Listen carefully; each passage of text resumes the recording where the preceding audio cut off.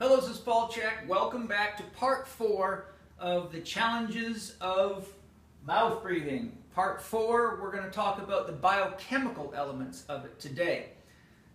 First and foremost, what do I mean when I say biochemical? Well, biochemistry relates to molecules that are chemical, particularly in this case within fluids. Bio means life, chemicals. And what we're talking about when we're relating to biochemical issues of mouth breathing is our biochemistry is really about the flow of energy and information through the fluids in our body.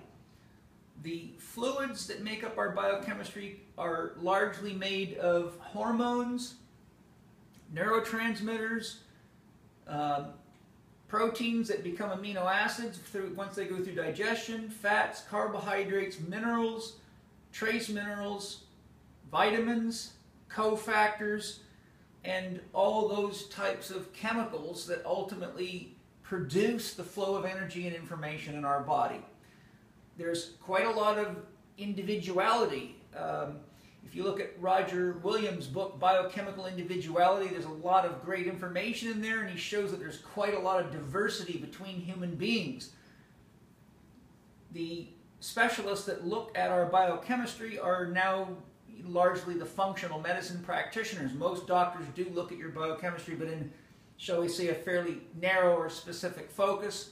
Functional medicine practitioners do a, a broad array of tests to determine how the balance of these various elements are. The one challenge with that approach is it's like taking a snapshot of an individual and you don't know how it got that way. My approach is to look at the things that ultimately produce our biochemistry, which is largely the things we bring from the outside to the inside, such as water, air, food, and drink, and the chemicals that we choose to add to such mediums. So if your biochemistry is not balanced, then you end up having a variety of different kinds of symptoms, from fatigue to mental emotional changes to uh, problems in organs and glands and tissues. And the reason I'm talking about the biochemical elements as it relates to breathing is because breathing is a very, very important influence on our biochemistry and the body uses the breathing mechanism to adjust imbalances in our biochemistry as I will show you as we go on. What I've done, because my big interest as a therapist is not addressing the symptoms that leads to biochemical imbalances, but identifying the causes of them, because if you keep on adding something to compensate for something that is the symptom of something you're doing, like eating incorrectly, then all you're really doing is using a patch technology, and that's not going to be a very long fix that's going to really help you. It's going to actually take you further and further into the pathology because every day you go on, the imbalance just gets worse typically.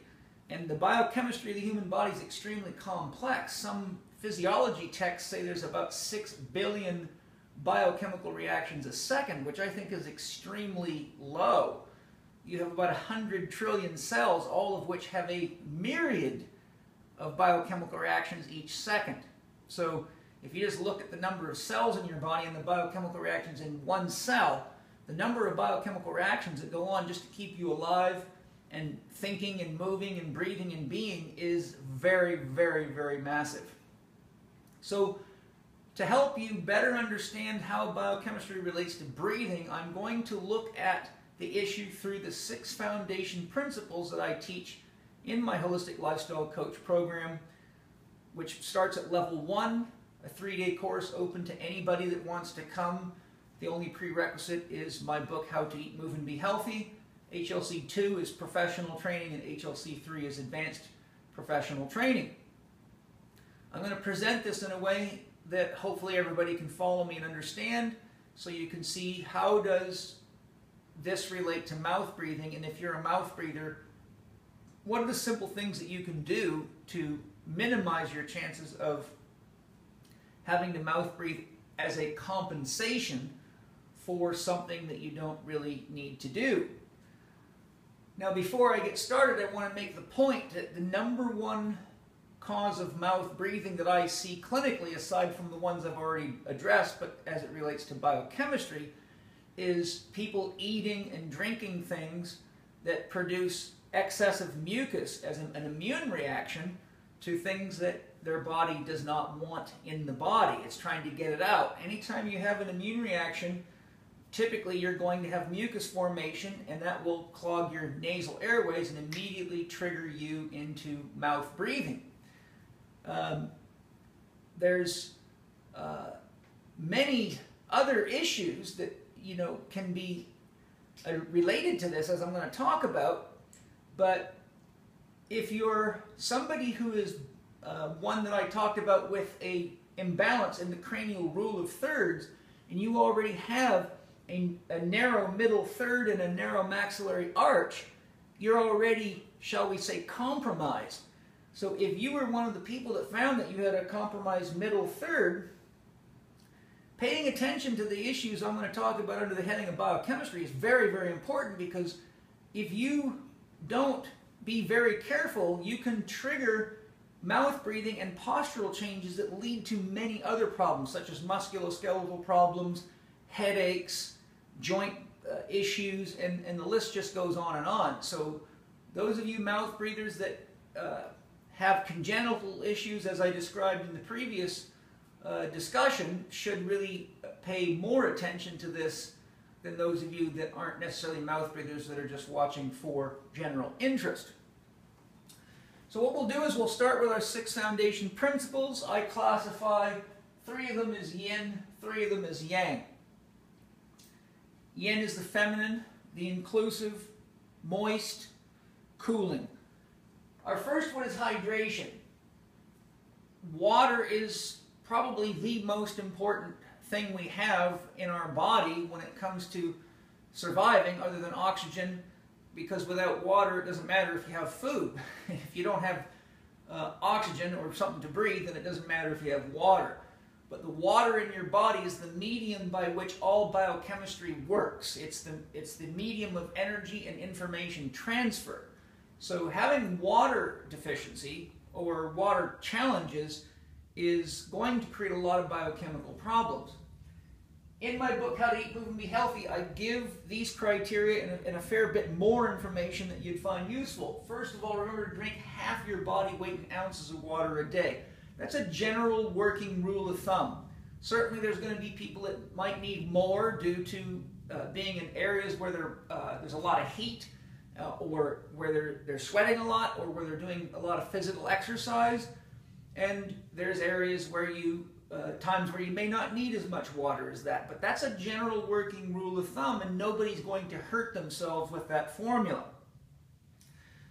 There's another standard rule that's used across the board by many medical professionals, and that's drink eight cups of water a day. But that does not accommodate for size differences in bodies. And as you know, people can get real tall and real short and be quite heavy and quite small. So eight cups is uh, too loose for me, but half your body weight in ounces of water a day, after years and years of testing and doing this with myself, I found it to be a very reliable amount of water for the average human body. Water should be at a pH of 7 or more. We'll talk about pHs as we go, but generally the pH scale balances at 7, so at 7, you're at neutral pH. If you go lower in pH, it gets more and more acid till you get all the way down to 0. The stomach acid is somewhere around 1 on the pH scale or even slightly less. That's extremely acidic. That'll dissolve metal. And then on the alkaline scale, you go up to 14. So alkalinity then is, is the functional antagonist of acidity, but remember, alkali two alkalines not good either. So each compartment of your body, many different compartments have different working ranges for pH.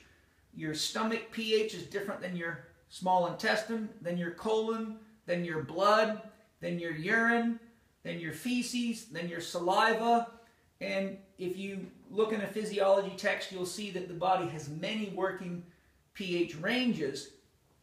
But in general, water is 7 because if we were drinking something that had too much pH influence, it would constantly be throwing our biochemistry out of balance. So water's kind of a neutral carrier in that sense. Typically, most people run quite acid these days due to all the things I'm going to discuss here. So there is a real tendency out in the public to popularize higher levels of alkalinity in water. So some waters go up as high as 9 on the alkalinity scale or pH scale. And we, we can look at that more, but if just as a general rule of thumb, if you know that you have a condition where your body's under a lot of uh, demonstrating signs of too much acid, then drinking a more alkalinized water could be beneficial to you. But as I always encourage my students to do and all my clients to do, pay close attention to how your body's responding. Just because it sounds good on a television commercial or in a magazine doesn't mean it's necessarily going to be the best thing for you. Total dissolved solids relates to how much mineral content is in the water.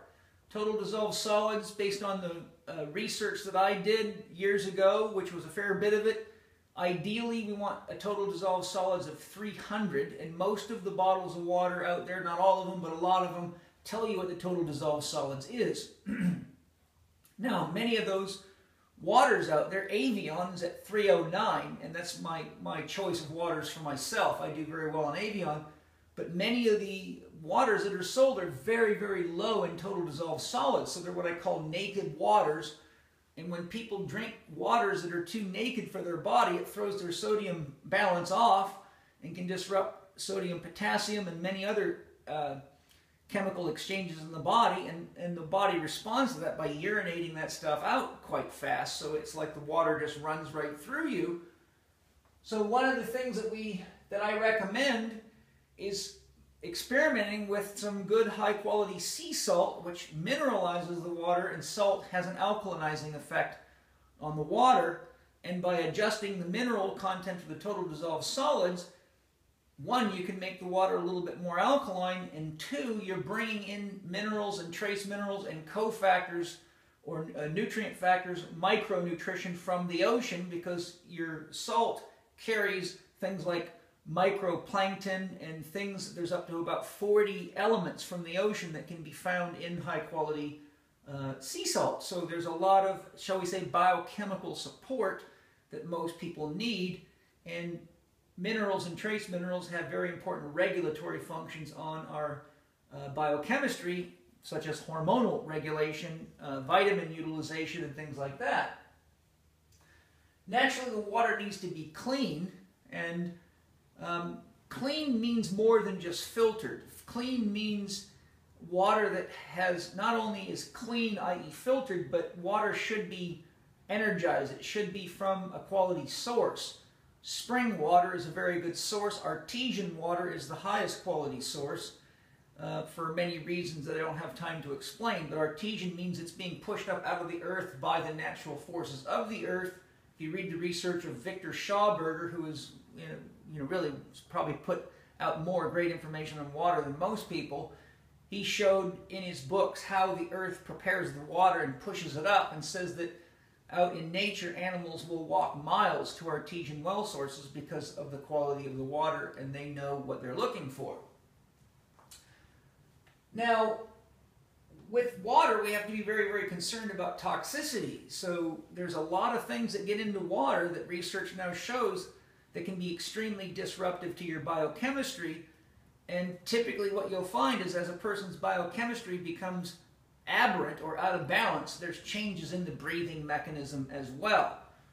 Typically what you're going to find is most of the waters are toxic to the body and have the risk of making the body more acid, uh, at which time you're going to see the body begin to start to hyperventilate to try to alkalinize the blood in particular. So if the biochemistry is off, it challenges the body's ability to maintain the blood at the right pH level of 7.35 roughly. Depends which textbook you read. It's very close to that though. We have to be concerned of toxicity of water sources because we have many, many lakes and uh, rivers where people's sewage is being dumped into these supplies, and with sewage, research shows comes all the medical drugs and chemicals that are going through people's bodies and then they get into your body and they cannot be effectively filtered out of water. So what you end up getting is what I call a homeopathologic dose of chemicals. Um, so having a good water filtration system is always wise, but using high quality water is very good. I get water right from right over here in the mountains at Mount, uh, Mount Palomar, which is a very deep well into an underground water source, and it's bottled in glass, and it's very high quality, very clean water, which I then use uh, natural processes to charge and structure, and I add a little salt to it, and it's super high quality, and I feel very good on it.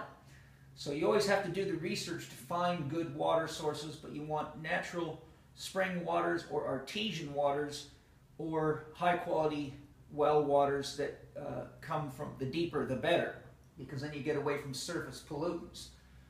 So these things are very important because water is the basis of your biochemistry. Without water, there is no, all biochemical reaction in the, in the body are water dependent is what I'm implying.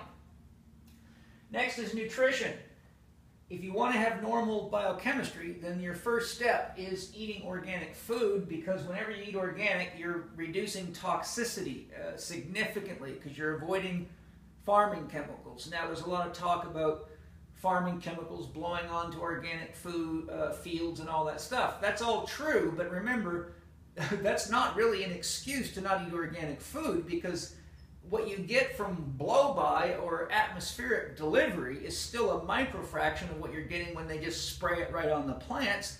And remember, pesticides, herbicides, fungicides, and rodenticides at large are prepared in fat-soluble liquids so they stick to plants and don't wash off in the rain, and then they get into your body and you're in big trouble.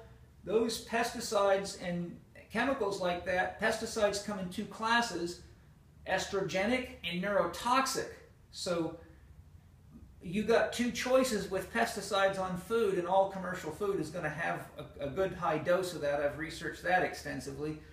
Um, neurotoxic, those are chemicals that were designed for biological warfare, and they will attack the nervous system and shut the nervous system down to the bugs, which means what, whatever dose you get, it's going to go after your nervous system and cause problems that relate to nervous system function. And estrogenic means that they use high levels of estrogens, which disrupts the reproductive cycle in the bug so they can't reproduce and then they die off. And that's exactly what the birth control pill does to a woman. So if, if, if you want to have healthy biochemistry, naturally you don't want estrogenic and neurotoxic chemicals coming into your food or into your water, which is why you don't want to drink water from surface wells that can get contaminated by surrounding um, corporations, uh, factories, and of course uh, commercial farms, which are big culprits. I got a military helicopter flying by here, so sorry for the noise if you hear it. Now, the other thing is if you look at research on organic food, it on average carries about four times the nutrient density of commercial food.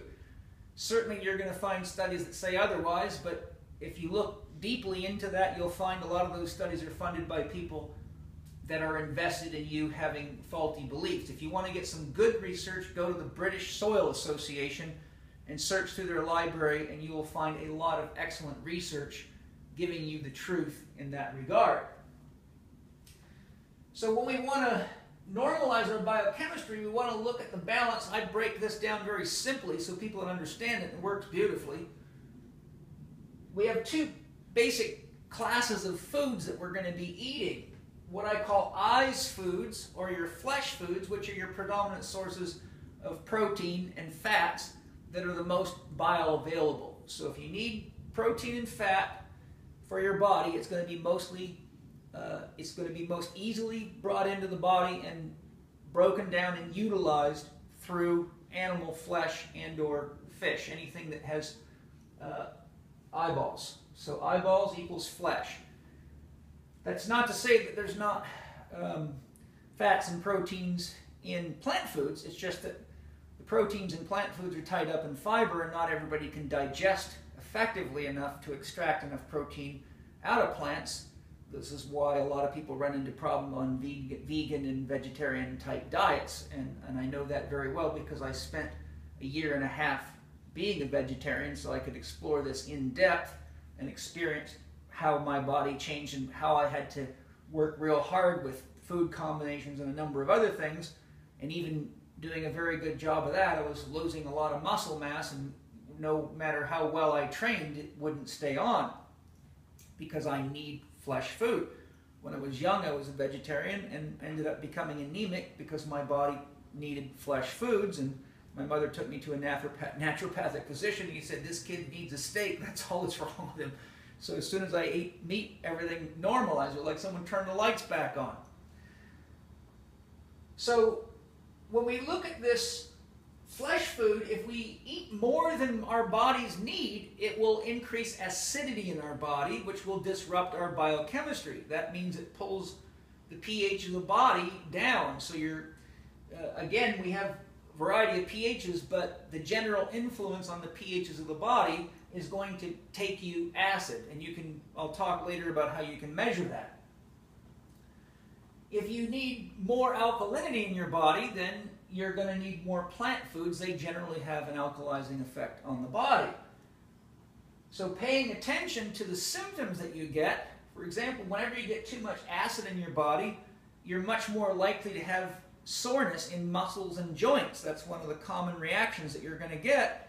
And it makes it harder to recover from exercise. You get up from sitting in a chair, you feel stiff. It's like your body can't, it's like you, you, you know, like you're a machine that needs a grease job kind of feeling. Excess alkalinity usually use, leads to fatigue and a variety of different symptoms. It can be sores in the mouth, all sorts of interesting things. But either way you go, too much of either means you're not feeling ideal, which is a guarantee that your biochemistry is off. You can get wickedly complex. You can study this stuff for years uh, in functional medicine. But interestingly enough, most of the functional medicine practitioners need a guy like me to break it down to this level so they can get themselves right. All you got to do is start looking at pictures of people that do functional medicine and doctors who are experts in the biochemistry of the body, but not in the actual biochemistry of the body. Next is sleep. The average person needs eight hours a night, and all this stuff is in my book, How to Eat, Move, and Be Healthy, just so you know in, in general. We need eight hours a night in cycle with the circadian rhythm because our whole hormonal system, which is our biochemistry, again, is driven by the sun and the moon and the earth itself. Your, the elevation of glucocorticoids, cortisol, and other glucocorticoids, which are stimulating to the body and anti-inflammatory and that prepare us to do work, rise up with the sun and then they generally go down as evening approaches and as cortisol levels go down melatonin rises up and we get a greater release of androgen hormones at night for growth and repair. So keeping in cycle with the sun down uh, by 10 i like people to be head on pillow ready to fall asleep by 10.30 and then rising up with the sun is the natural cycle. And if you go against that cycle, you can make all the excuses you want. And I'm, I'm not saying to the shift workers, stop your job. I'm just saying whenever you go against the cycle, no matter what excuse you make, it's stressful to the body and there's a cost. And one of the costs is, is that if you skip, as I show you in my book, How to Eat, Move, and Be Healthy, the first four hours at night, the body tends to devote to physical repair and the second four hours into psychogenic repair. So if you go to bed, I've had many athletes with this problem, if you go to bed too late, the longer you wait to go to bed, the less time your body has to repair the physical structure and the more likely you are to have chronic musculoskeletal injuries or acquire a significant one. If you go to bed too late and you start missing sleep from about 2 a.m. onward, like what happens to a lot of uh, mothers that have new babies and they have to wake up to feed babies and then can't fall back to sleep, you're much more likely to have cognitive disorders and neurological problems because that's the uh, parts of the body that the body focuses on in that cycle of sleep. So the key thing to remember is decreased sleep equals increased catabolic activity in the body because sleep itself is a process that is anabolic. Tissue rebuilding supports growth, repair, and ultimately learning. So as we get sleep deficient, we become more and more catabolic, which actually increases the likelihood that we're going to be far too acidic in our body. And if you go too far into acid or alkaline for each of the different compartments of the body, it disrupts the flow of energy and information in the body and leads to a large number of health challenges such as mental emotional problems, energy problems, slow healing, heart palpitations, and the list just goes on. Okay? Now, if, if your sleeping is off, any of the things that I discuss here, whatever brings stress levels up elevates adrenaline in the body, and that triggers off elevations in cortisol. And the body is extremely sensitive to these hormones, and if they rise up past homeostatic levels or natural balance, then you will trigger off a mouth breathing reaction because the body thinks you're fighting or running for your life. So that's important to remember. Now, up here you see RX, that means prescription drugs. As a general rule of thumb, prescription drugs just straight up equals chaos in the body. Uh, it, completely, utterly baffles me how quick people are to, to run and get a drug from a doctor that's about 10 times more dangerous and problematic than the symptom that they're having. Uh, if you look at the side effects, even marketed on television for a lot of these drugs, some I, I, look at this and I'm like, who in the world would actually take a drug that has those side effects because they don't sleep well? I mean, this is just crazy. But drugs are usually highly toxic to the body and they disrupt the biochemistry of the body significantly and they have many side effects that can cause knock-on problems that produce seemingly unrelated symptoms that are related such as back pain and uh, psychological dysfunctions and emotional problems and erectile dysfunction and digestive eliminative disorders and the list goes on. So the, the, the moral of this story is first do no harm. Food is man's best medicine, as many of the greatest physicians have said. So remember, whenever you start resorting to the use of uh, prescription drugs or even over-counter drugs, you are playing with your biochemistry set and most people don't even come close to having the knowledge to know what the long range effects or even the short term effects of those drugs are. And unfortunately, a lot of the doctors don't know uh, very much at all. They're just reading out of a book and prescribing what somebody else told them to, but are often completely detached from the long range effects of these things until someone dies and then they have to start looking into it. So try not to take that route to figure out the effects of drugs on your biochemistry. Now we're going to look at the yang elements, the masculine elements, which means moving faster, heating, drying, expressive elements. Thinking is a major issue. We talked about the uh, thinking issues earlier, so I won't go into that, but just remember, if you're thinking thoughts that are dream negative, in other words, if your thought processes are not affirmative of your dream goal or objective in life, then you could say that they're um, nightmare affirmative. And anytime your thought processes are unproductively stressful, it means that you're going to most likely have acidifying reactions in the body. That's my experience. And you're going to exhaust yourself of various resources. The harder you work the brain, the more you utilize resources. Remember, the brain is a very, very inefficient organ. It uses about 80% of the available blood sugar anytime it's cognitively engaged. So it's a massive sugar consumer, a massive resource consumer, and deficiencies in vitamins, minerals, trace minerals, hormones, enzymes, cofactors all can create cognitive disorders that make your life a lot harder to live and make it a lot harder to be a happy, healthy, motivated or and, and or inspired person. So whenever you're dealing with dream negative issues or dream negative thinking and it's producing stress, the first thing I would encourage you to do is ask yourself, am I living an outdated myth? An outdated myth means an outdated story.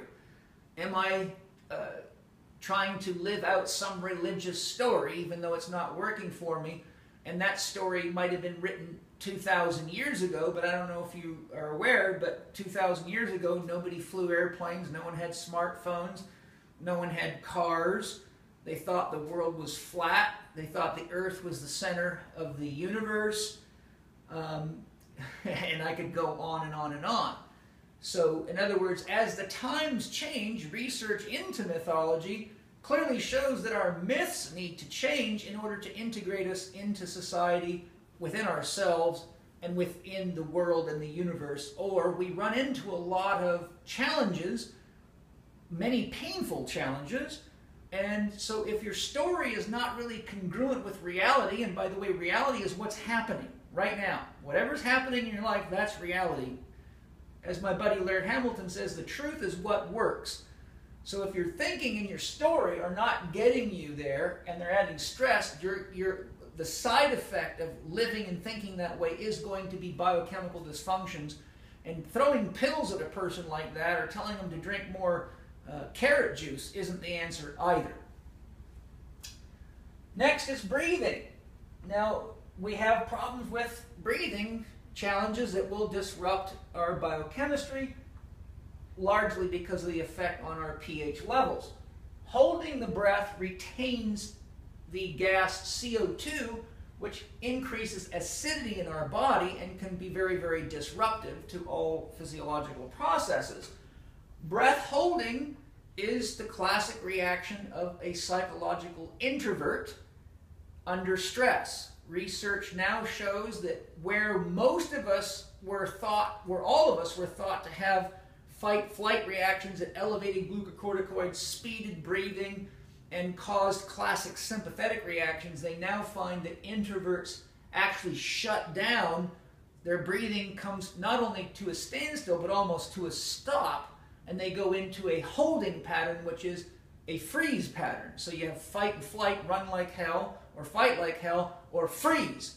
And if you freeze your breathing, your cell physiology keeps going, your heart keeps beating, but you're not bringing in oxygen to alkalinize your blood, so you get too much carbon dioxide relative to oxygen, which has an acidifying effect on the body, which can lead to lots of problems. And many people do this all the time. And their, their, their daily reaction to their negative thoughts and their other challenges is not to breathe more, it's to breathe less, which leads to just as many problems as breathing too fast does. The extroverts are going to hyperventilate, and with hyperventilation, classically comes mouth breathing. You don't get mouth breathing with breath holding because you stop breathing. By the way, with these people, the key thing is to focus on a full exhalation, getting the air out of you, letting go.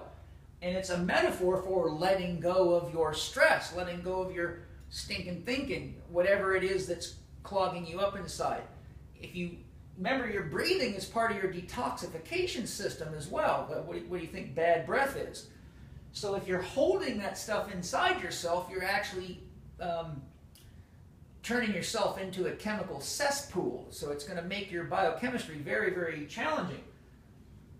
Hyperventilation causes the outgassing of too much CO2, which favors alkalinity, tr triggers an alkalinizing effect on the body. But if you get too alkaline, if the blood gets too alkaline, it favors the action of calcium in muscles, which causes muscle binding and leads to spasms and cramps. So when I see hyperventilation and mouth breathing in athletes, especially running athletes like sprinters, football players, rugby players, soccer players, triathletes, distance runners, etc., you see that with this hyperventilation and mouth breathing problem comes muscle cramping, muscle tears, and a lot of muscle injuries due to the dysfunction in the muscle's ability to contract and then release.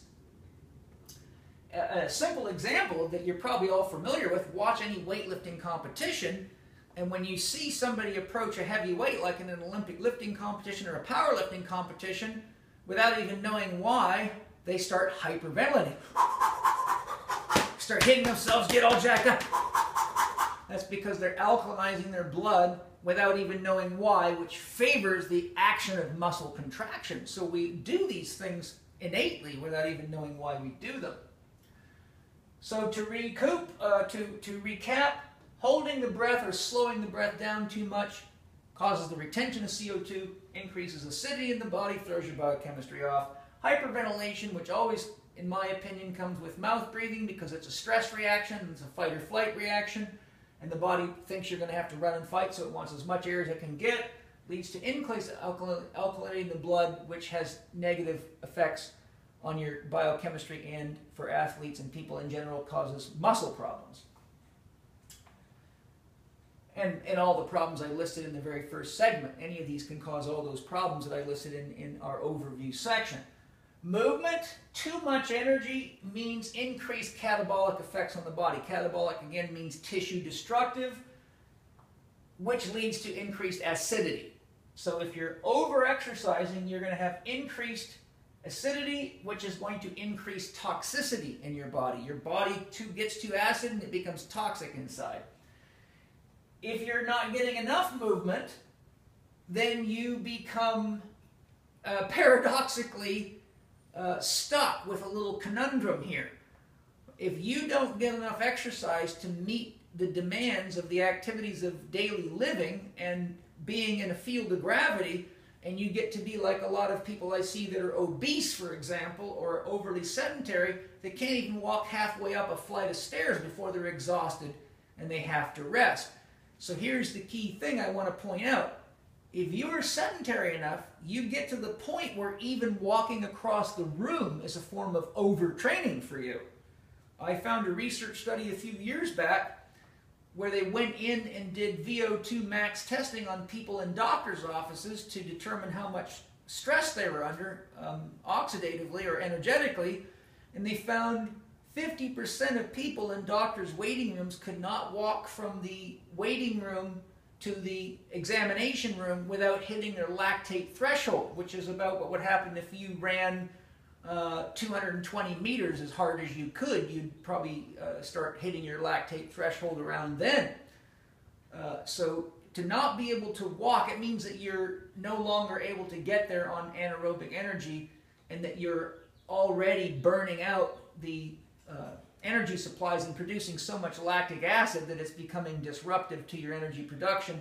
In other words, now you got to go into the aerobic energy system, which means it's showing that they're they're already exhausted uh, in, is a good way to look at it. So if you de-train the body, then just being in a field of gravity and doing activities of daily living becomes overtraining, and lo and behold, you're back to hyperventilation because just walking up and down the stairs or putting groceries in your car is so stressful your body has a stress response, and that comes with mouth breathing and the challenges that we've been talking about. Also, if you're not getting enough exercise, it leads to stagnation of fluids in the body. And whenever you don't have fluids moving through the body, your biochemistry gets disrupted because remember, your biochemistry is about the flow of energy and information. So if energy and information gets trapped, think of what constipation is. It is the disruption of the natural fluids of, of fluids and substances in the body that leads to toxicity in the body. If urine doesn't flow, you're in trouble. If blood doesn't flow, you're in trouble. If lymphatic fluid does not flow, you're in trouble. And the list just goes on and on. So if you are out of balance with too much or too little exercise, you're going to make your body pHs go off. You're going to be most likely too acid. You're going to become toxic. You're going to become a hyperventilator. And you're going to probably have a mouth breathing uh, problem going on that brings all that toxicity of breathing through your mouth, not your nose. All of this, by the way, is a fantastic way to set yourself up for fungal and parasite infections. And overtraining or undertraining lead to energetic imbalances because you're not able to effectively utilize the energy produced by movement itself.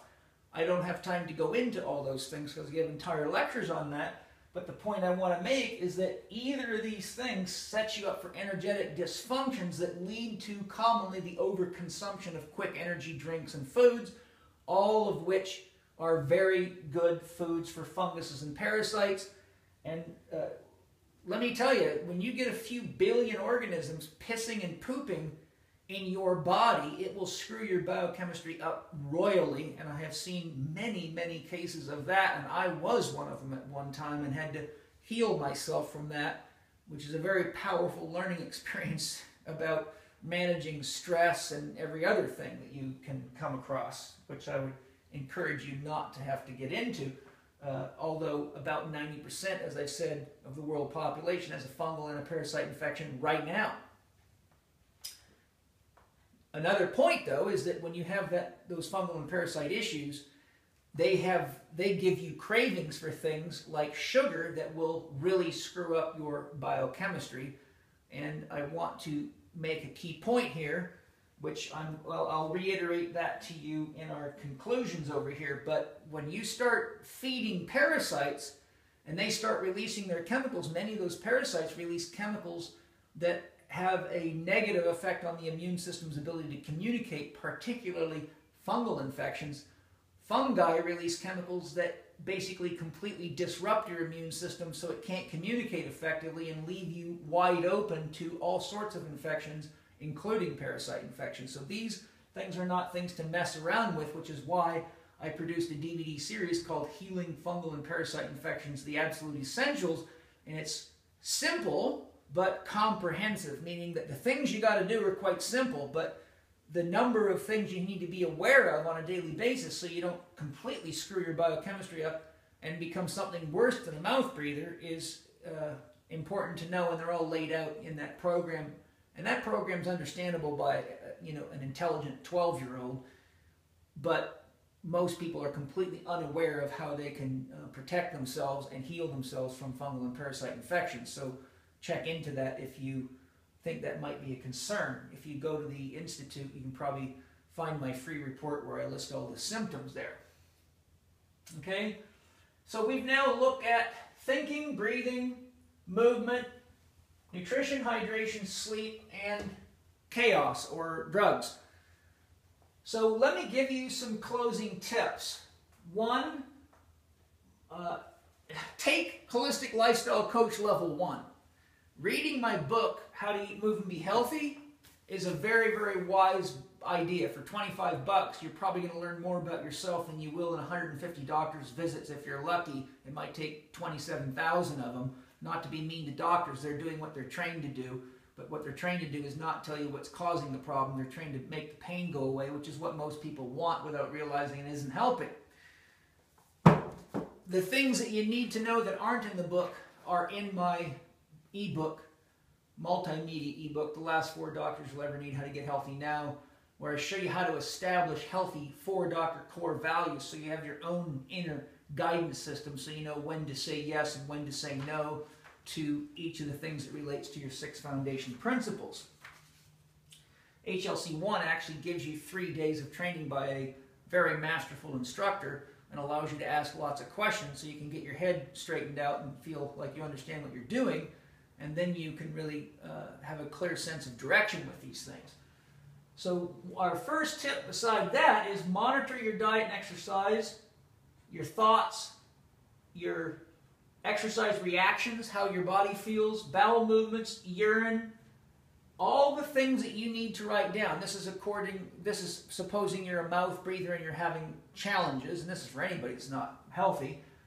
Keep a log. I recommend you use a day timer or a calendar function on your phone. Write down everything, how you're thinking. If you're having negative thoughts, write down the time you're having these negative thoughts because that could correlate to other things such as how you're exercising or how you're eating. And a therapist can look at those, especially a CHEK holistic lifestyle coach, and they know how to make these correlations. Um, what do your bowel movements look like? I show you how to read those in the book, How to Eat, Move, Be Healthy. What does your urine look like? Is it strong smelling? Is it dark? How frequent is it? How much are you having? Normal? Too little? seemingly extremely large amount, which most people are aware of. What's your body temperature like? Do you feel normal? Do you feel cold? Do you feel hot? How's the condition of your skin? Do you have pimples? You, are you aging? Is your skin aging faster than it should? Is it all dried out and wrinkly? Are you losing the oil in your skin? Is your skin dried out? Is it too greasy? These are all things that change as your biochemistry changes and can be related to mouth breathing problems. Are you having swelling in your body? Are you gaining weight? Um, how's your sexual performance? How's your recovery from exercise? All those things, if you monitor them as you're monitoring all this and adjusting your ratio of animal or flesh foods to plant foods and some of the other specifics I show in my book, then you can see how these things are changing. How much water are you drinking? What kind of water? If I've been drinking soda pop, what came on? Did I start getting pimples? Did I get nervous? Did I start breathing faster? Etc. You have to look at all this stuff so you can see what's related to what. Next is pH monitoring. You can easily go to a drugstore or right on Amazon and get what are called pH strips. They're just little sticks, about a quarter of an inch wide, maybe two and a half or three inches, three or four inches long. You can dip them into fluids and things like that, and they will have a color response, and you can look on the scale, it'll tell you what the pH is. I did this for quite some time years ago when I was studying, studying functional medicine with uh, Bill Timmins, the founder of BioHealth Diagnostics and I did a lot of specific training in functional medicine because I wanted to understand how all this stuff works. And I was also a little concerned about the whole theory of, of needing to eat a vegetarian diet to alkalinize the body and all the sort of stuff that was going around and, and this theory that eating meat would acidify your body. So I tested everything. And what I did for quite some time is I monitored my urine pH every time I took a pee and I recorded it and I check my salivary pH several times a day. I did it before workouts, after workouts, before meals, after meals, in the morning, before bed, and I was able to see what what I was doing, what I was eating, what I was drinking, how I was sleeping, and how I was training, and how did that affect pH ratios at salivary and urinary levels.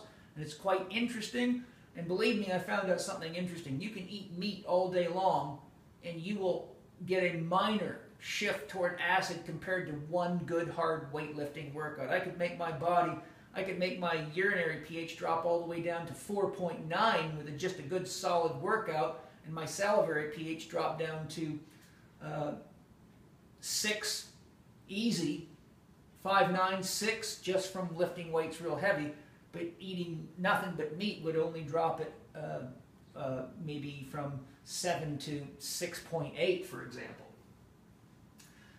So monitor your AM urine. Your AM urine should range between 5 and 7 pH. But by monitoring your urine throughout the day and paying attention to what your saliva, check your saliva with the same system, different stick, same system. Saliva should be 6.5 to 7. So what is it before a meal? What is it before you drink that Red Bull? What is it an hour later and two hours later? experiment by adding and subtracting things and see what your pH is doing and pay close attention to what your pH levels are at the urinary level and salivary level when you're feeling good and your mind is working good and when your body looks good. And you might find, geez, when your urine goes acid, your body gets hot and swollen, but when it goes more alkaline, you tighten up and feel better. Or if you're too alkaline, you might feel that your body looks fine in the mirror, but you feel like a dish rag on the inside. You got no power in you. So there's there's very unique reactions to these things. You can't say that everybody should be this way, except for when you get to blood. Blood stays pretty tight around 7.35 uh, pH. So monitor all these things. If you're getting too much acid, it's wise to try increasing plant foods and water and decrease toxicity in your diet. So if you're taking medical drugs or over-the-counter drugs, notice what happens if you're if you can get your uh, when you come to the end of a prescription. See what happens. Or if you don't need to take the drugs, don't take them. See what the pH levels do, and then if it's safe, try taking it. See what the pH levels do for the next 24 to 72 hours.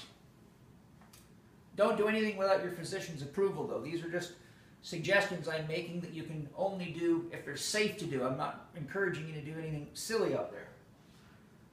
Okay, so remember if you get too much acidity in your body, plant food, increase water, and decrease toxicity through every means that you can. Next, remove processed foods, sugar, and sugars in general. Processed sugar is a real problem. Classic table sugar, as most people are using out there, is extremely acid. Candace Pert says in her book Molecules of Emotion it should be considered a class 1 drug because it's as addictive as heroin, morphine, and other class 1 drugs. It's highly acidic and it robs your vitamins of uh, body of vitamins, minerals, trace minerals, and nutrients at a very, very extreme rate. There's many books written on that. Eating uh, processed sugar in any form, and it's hidden in all sorts of stuff, even meats, is extremely dangerous and acidifies your body. So here's how that relates to mouth breathing. You cannot correct breathing pattern disorders as long as people are eating processed sugar because it acidifies the blood so quickly you immediately have to start hyperventilating in order to alkalinize your blood to keep your body alive. So if you've got any kind of breathing pattern disorder, processed sugar's got to go. If you want sugar, get it from natural sources like fruit, vegetables. Remember, carbohydrates are all sugars in one form or another. You don't have to eat high, super concentrated sugars, especially bleached, toxic, commercially grown crap. So remove the, the, the, the excess sugars, remove pasteurized dairy. I, I've never known anybody on this planet in all my years that did well on pasteurized dairy. Remember, pasteurized means no enzyme activity, which means if you're eating pasteurized anything, your body has to come up with the enzymes to break it down, and you can easily become enzyme deficient. The average person that I see, by the time they're 30 to 32 years of age, has already got significant enzyme depletion and has to go on digestive enzymes to supplement to give the body a chance to repair itself. And that's not wise to do to burn yourself out of enzymes because you're eating pasteurized stuff. And if you look into the whole concept of pasteurization and you get right to the roots of it, it's corporate silliness is what it is. It's, uh, it's a bunch of mocked up hype stories about the dangers of raw milk and all that stuff, which is a lot more people get sick from pasteurized anything than they do from raw food. So let's just get that one straight. Um, next, commercial meat and fish. If you want to screw your biochemistry up, then just keep eating commercially bought and raised uh, meat and fish. Fish farming is an unregulated industry that uses a lot of dangerous chemicals that have not been tested and approved by the FDA or anybody else. Commercial farms, as I mentioned, highly toxic.